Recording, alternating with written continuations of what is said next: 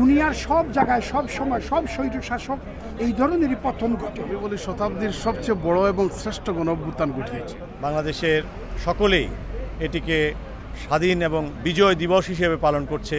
আমরা এখন ইসলাম মসজিদে জুম্মান নেওয়ার পরে এখানে হাজার হাজার মানুষ আসছে, মানুষ উল্লাস করতেছে দেশের এই আনন্দের জন্য।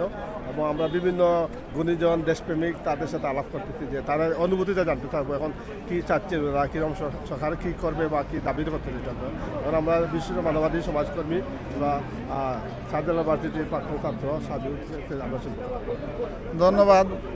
আমরা আসলে, আমরা যে দ্বিতীয় স্বাধীনতা পেয়েছি এটা আসলে অনেকেই অনেকভাবে আপনার সেলিব্রেট করতেছে। আমরাও এখানে এসেছি এইটা সেলিব্রেট করার জন্য এবং বাংলাদেশের এই যে দ্বিতীয় স্বাধীনতা পাওয়ার পরে আমরা প্রথমেই যেটা আমরা চাবো যে এখানে যে শত শত ছাত্ররা মারা গেছে এবং একবারে চার বছরের বয়সের বাচ্চা থেকে শুরু করে আপনার পঁচিশ বছরের তরুণ যে মারা গেছে, এদের সবার বিচার আমরা প্রথমেই চাই যে এদের সঠিক বিচার হোক এবং যারা এই ঘটনাটা ঘটিয়েছে এবং তাদেরও আমরা বিচার চাই এবং যারা আহত হয়েছে তাদের আমরা সুচিকিৎসা এবং যারা মারা গিয়েছে এদের নাম যেন শনাক্ত করে লেখা থাকে এবং বাংলাদেশের ইতিহাসে যেন তাদের তাদের একটা অংশ হিসাবে থাকে এবং তারা যে, যারা মারা গিয়েছেন তাদের নাম যেন বই পুস্তকে আসে এবং মানুষ এই যে ডিকটেটর ছিল এতদিন, এই ডিকটেটরের কারণে আমাদের সমাজে যে ক্ষতি হয়েছে, এইটা যেন মানুষ সারা জীবন দেখতে পারে এবং আমাদের টেক্সট বুকে এইগুলা যেন আসে।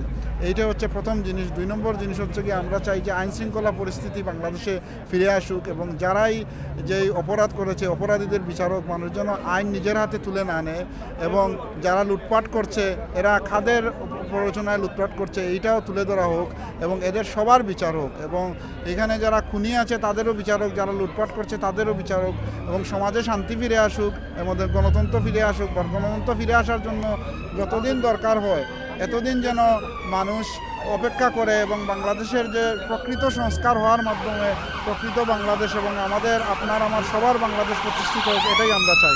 রাষ্ট্রবিজ্ঞানে একটা কথা আছে পাওয়ার করাপ্টস অ্যাবসলিউট পাওয়ার করাপ্টস অ্যাবসলিউটলি যখন ক্ষমতার সবগুলো এক বিন্দুতে কেন্দ্রবিন্দুতে এক ব্যক্তিকে কেন্দ্র করে আসে, তখন এটাই পরিণতি হয়। দুনিয়ার সব জায়গায়, সব সময়, সব শাসক এই ধরনেরই পতন ঘটে। তো বাংলাদেশের ব্যতিক্রম নয়, তবে আমি বলব এই যে তত্ত্বাবধায়ক বা ইন্টেরিয়াম গভর্নমেন্টে যে সতেরো জন আপাতত যে নিয়োগ পেয়েছেন, তারা সবাই কিন্তু আমাদের বিগত রিজিম, এই ষোলো বৎসরের, এই স্বৈর শাসনের কিন্তু শিকার। এদের পরিবার পরিজন অথবা ডাইরেক্ট ওনারা সবাই কিন্তু শিকার। ডক্টর ইনুস সহ সবাই মোটামুটি সতেরো জনের মধ্যে সবাই ভিকটিম। এই শৈল শাসনের। তো কাজেই আমি বলব, এদের কাছে এদের হৃদয়ের যে রক্তক্ষরণ এবং দেশকে পুনর্গঠন করতে হবে, রাষ্ট্রকে পুনর্গঠন করতে হবে, নব্বই দিনের ভিতর ইলেকশন নব্বই দিনের ভিতরে ইলেকশন এই ইন্টেরিয়াম গভর্নমেন্টের পক্ষে কোনোভাবেই সম্ভব নেই এই ষোলো বৎসরের যে জঞ্জাল জুডিশিয়ারি থেকে ধরে, অ্যাডমিনিস্ট্রেশন থেকে ধরে, সব কিছুতে ঢালাওভাবে ওগুলোকে রিফর্ম না করা পর্যন্ত ইলেকশন দেয়া যাবে না। কাজেই এটা বুঝতে হবে, এই ইন্টেরিয়াম গভর্নমেন্টকে সময় দিতে হবে আমাদেরকে এটা হচ্ছে মূল কথা। সংস্কার করার পর, রাষ্ট্র সংস্কারের পর নির্বাচন হবে, যে আসুক, কোনো অসুবিধা নেই। একটা সুষ্ঠু নির্বাচন স্থায়ীভাবে বাংলাদেশের কনস্টিটিউশনে অ্যাডপ্ট করতে হবে মানবাধিকার কর্মীরা সবচেয়ে বেশি গুরুত্বপূর্ণ ভূমিকা রাখতেন এবং অনেক সময় পরিশ্রম করতেন। আমাদের লিটন ভাই আমার লিটন ভাইয়ের ক্ষেত্রে এখন শুনব সর্বশেষ অনুভূতি এবং উনি কী আশা করেন বর্তমান এই সরকারের ক্ষেত্রে ধন্যবাদ এলবি টোয়েন্টি ফোর বাংলাদেশের গণতন্ত্র পুনরুদ্ধার বাংলাদেশের যে ইন্ডিপেন্ডেন্স সেকেন্ড ইন্ডিপেন্ডেন্স বলেছেন ডক্টর ইউনুস এবং বাংলাদেশের সকলেই এটিকে স্বাধীন এবং বিজয় দিবস হিসেবে পালন করছে এবং বিজয় দিবস পালন অব্যাহত রয়েছে। বাংলাদেশ, এই প্রথম বাংলাদেশের মানুষ বড় করে স্বাধীনভাবে নিঃশ্বাস নিতে পারছে। কারণ আমরা পিন্ডির কাছ থেকে স্বাধীনতা পেয়েছিলাম, কিন্তু পূর্ণাঙ্গ স্বাধীনতা পাইনি। এবার দিল্লির কাছ থেকে স্বাধীনতা পেয়ে দিল্লির সেবাদাস মুক্ত, একেবারেই স্বাধীন সার্বভৌমত্ব বাংলাদেশ, যার নেতৃত্ব দিচ্ছেন ডক্টর মোহাম্মদ ইউনুস। তিনি দায়িত্ব গ্রহণের আগেই বলেছেন, বাংলাদেশকে কেউ অশান্ত করলে ভারত ও সেভেন সিস্টার্স মায়ানমার প্রত্যেকেই অশান্ত থাকতে পারে, হতে পারে। এর চেয়ে বড় পররাষ্ট্রনীতি বাংলাদেশের মানুষের, আঠারো কোটি মানুষের বুক চিতিয়ে বিশ্বের বুকে দাঁড়ানো, এরকম কথার জন্যই দশকের পর দশক বাংলাদেশ অপেক্ষা করছিল। সুতরাং তার নেতৃত্বে বাংলাদেশ পূর্ণাঙ্গ এবং বাংলাদেশের বর্ডার, একটি যদি মানুষ আমাদের মারা যায় তাহলে বিজিবি তার দশগুণ প্রতিশোধ নেওয়ার মতো মানসিক শক্তি অর্জন করেছে তার এই বক্তব্যে।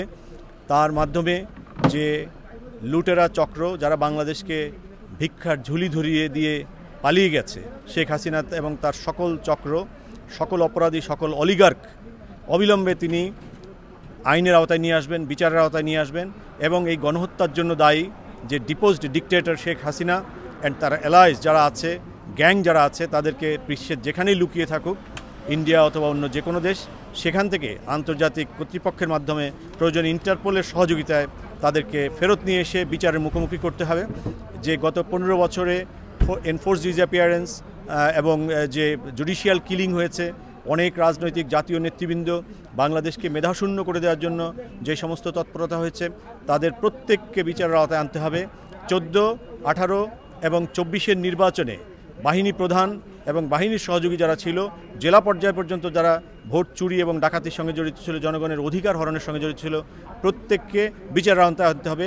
এই ব্যাপারগুলো অনেক লম্বা শোনালেও এই সরকারের কাছে জনগণের প্রত্যাশা, এগুলো এক বছরের মধ্যে সম্পন্ন হবে। প্রবাসীদের পক্ষ থেকে সবচেয়ে বড় যে জিনিসটি, সেটি হচ্ছে দেড় কোটি প্রবাসীকে অবিল এক বছরের মধ্যে এনআইডি দিতে হবে এবং এনআইডির মাধ্যমে ভোটার তালিকায় অন্তর্ভুক্ত হয়ে যাবে অটোমেটিক্যালি এবং পরবর্তী নির্বাচন প্রবাসীদের অংশগ্রহণ ছাড়া কোনো নির্বাচন বাংলাদেশে আর হতে পারবে না।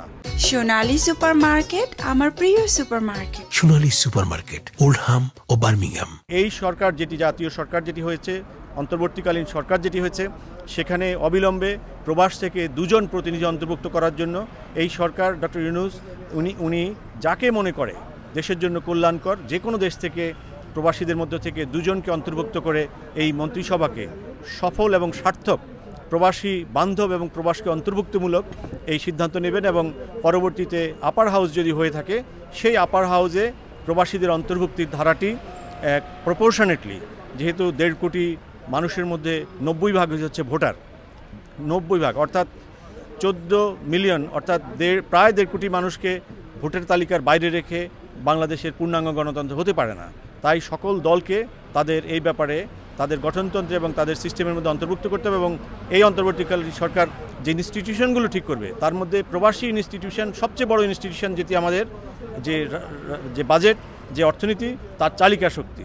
সুতরাং এই জায়গাটি অন্তর্ভুক্ত করতে হবে এবং বিগত স্বৈরাচারী শাসক কী কারণে করেনি? কারণ তারা বিশ্বাস করতো যে বিদেশে নব্বই ভাগই হচ্ছে তাদের সমালোচক এবং তারা বিভিন্ন নাম, দলের নাম ধরে তারা এই সমস্ত প্রবাসীদেরকে ডিসকার্ড করেছে।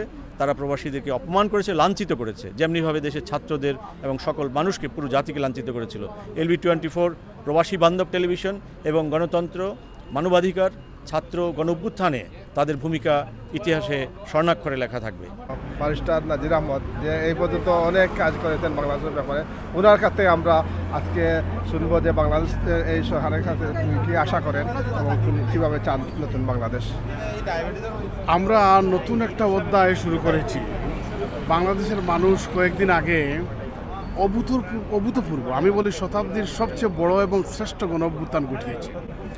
কল্পনা করতে পারে না দুই সপ্তাহ আগে কেউ ভাবতে পারে না দেড় দশকের একটা নিষ্পেষিত দেশ, সমাজ যেখানে কোনো অধিকার ছিল না, মানুষের জীবনের কোনো মূল্য ছিল না, সেখান থেকে বেরিয়ে এসে বাংলাদেশ একটা নতুন অধ্যায় শুরু করেছে এবং যারা শপথ নিয়েছেন ডক্টর ইউনুস সাহেবের নেতৃত্বে, আমরা তাদের সফলতা কামনা করি এবং তাদের কাছে বাংলাদেশের অনেক বেশি আশা, ভরসা আছে এবং তাদেরকে সফল হতেই হবে। আমি তাদের কাছে প্রত্যাশা করব, অনতিবিলম্বে বাংলাদেশের আইন শৃঙ্খলা কন্ট্রোলে নিয়ে আসতে হবে। দুই নম্বর, যারা স্বৈরাচারের দূষর ছিল ডাইরেক্টলি ইনডাইরেক্টলি প্রত্যক্ষ, পরোক্ষভাবে গত ষোলো বছর এই স্বৈরাচার এবং পেশিবাদকে টিকিয়ে রেখেছে, তাদেরকে চিহ্নিত করে অতি বিলম্বে তাকে, তাদেরকে সার্ভিস থেকে শেষ করতে হবে। যারা আইন ভঙ্গ করছেন, তাদের আইনের আওতায় নিয়ে আসতে হবে। নতুবা ছয় মাস, এক বছর পরে আবার তারা পোলট্রি মেরে আবার তাদের আসল চেহারা আসবে বাংলাদেশকে ডিস্টেবলাইজ করে ফেলবে। তাদেরকে আইনের আওতায় এনে দৃষ্টান্তমূলক শাস্তি করতে হবে এবং সাধারণ অবস্থা দেশে ফিরিয়ে আনতে হবে এবং যে স্বাধীনতার স্বাদ দেশের মানুষ পেয়েছে, ওইটা বজায় রাখতে হবে কন্টিনিউ করতে হবে। সংবিধান কাটাছেড়া করে স্বৈরশাসক এমন অবস্থা করেছে যে সংবিধান ফলোই করা যাবে না না ভেঙ্গে। এমন একটা গেড়াকলে ফেলে দিয়েছে। ওই সংবিধানকে কাটাছাড়া করে সুন্দর গণমুখী মানুষের জন্য সুন্দর একটা সংবিধান উপহার দিতে হবে। আর নতুন সরকারের কাছে আমার অনেক প্রত্যাশা এবং তাদেরকে আমরা সহযোগিতা করব একবারে সর্বশক্তি দিয়ে, যার যে অবস্থান আছে সেখান থেকে।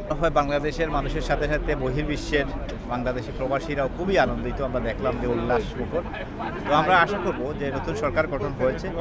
এই সরকার প্রথমেই যেটা কাজটা করবে যে আইন শৃঙ্খলা পরিস্থিতি ফিরিয়ে আনবে। আমরা জানি যে বাংলাদেশের চারশোরও বেশি পুলিশ স্টেশন, থানা যেগুলো, সেগুলোতে এখনও পুলিশ নেই।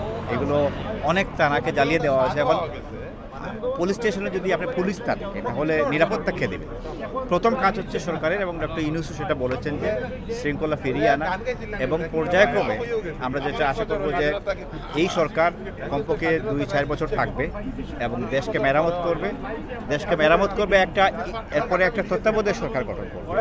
যে তত্ত্বাবধায়ক সরকারের অধীনে আগামী নির্বাচনগুলো হবে সেই জিনিসটা নিশ্চিত করতে হবে নতুবা আবারও দেখা যাবে যে গত পনেরো বছর যে দল শাসন করেছে অপশাসন করেছে এইরকম আরও কোন দল আসবে এবং এইভাবে মানুষকে অপশাসন করবে এবং শৃঙ্খলার একটি শৃঙ্খল করে রেখে দিবে মানুষ পরাধীন থাকবে I'm at work permit Cloud, British Business Immigration Champion. Let Work Permit Cloud guide you through the immigration field. Choose the right team to win. Work Permit Cloud. Cloud-based solution for all your immigration needs.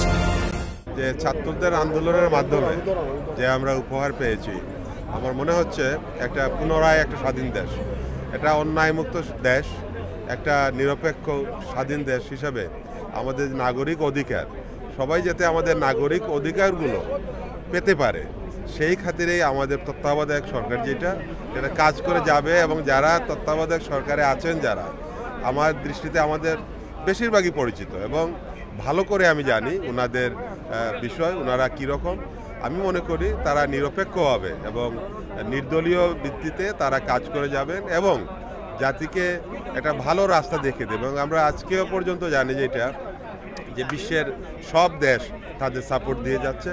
এই সাপোর্টের ভিত্তিতে আমি মনে করি আমরা সুন্দর একটা আগামীর দেশ, একটা সুন্দর একটা দেশ পাবো।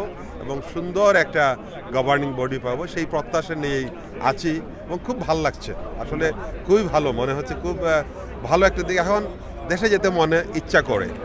এখন ভালো লাগবে দেশে গেলে। আলহামদুলিল্লাহ আলহামদুলিল্লাহ আলহামদুলিল্লাহ। বাংলাদেশের ইতিহাসে এটা একটা চেঞ্জ এবং যে ওয়েতে বাংলাদেশ যাচ্ছে, এটা হলো মানে বান্নর ভাষা আন্দোলন, একাত্তরের স্বাধীনতা যুদ্ধ, নব্বইয়ের গণ অভ্যুত্থানের প্রতিফলন করতে যাচ্ছে এতদিন পর।